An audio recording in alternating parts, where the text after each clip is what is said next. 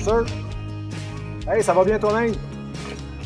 Surplus d'inventaire, c'est un paquet de pièces, des fois un petit peu désuètes, moins au goût du jour qu'on a depuis quelques temps, depuis quelques années.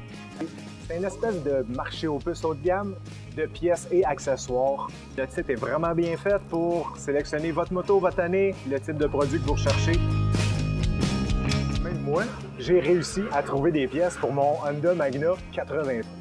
Oui, j'ai un vieux V45, puis c'est plus difficile d'avoir des pièces, mais en fouillant dans nos pièces comme ça, j'ai réussi à me trouver un guidon, des miroirs, des exhausts à un prix qui était drôlement intéressant pour moi.